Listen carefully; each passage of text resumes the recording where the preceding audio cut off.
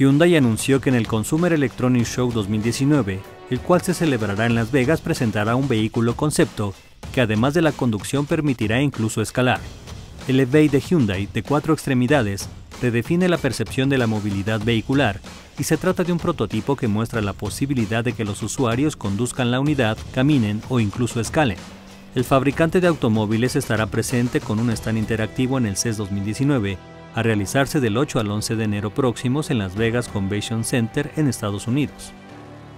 En esta edición estarán presentes más de 4.500 empresas expositoras, incluidos fabricantes, desarrolladores y proveedores de hardware de tecnología de consumo, contenido, sistemas de distribución de tecnología y más, en donde se reúnen 180.000 asistentes de 150 países. Notimex.